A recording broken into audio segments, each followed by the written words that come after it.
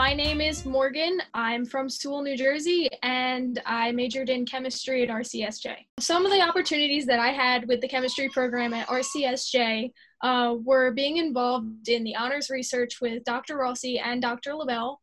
Um, with my research with Dr. Rossi, I was able to be connected to uh, a research lab at Rowan University um, in Dr. Caputo's lab, where I actually ended up authoring uh, being the first author on two papers, uh, which is really big for an undergraduate. My research with Dr. LaBelle was at Cooper University. Um, we researched uh, stem cells, and it really gave me a foundation for scientific research um, and lab work.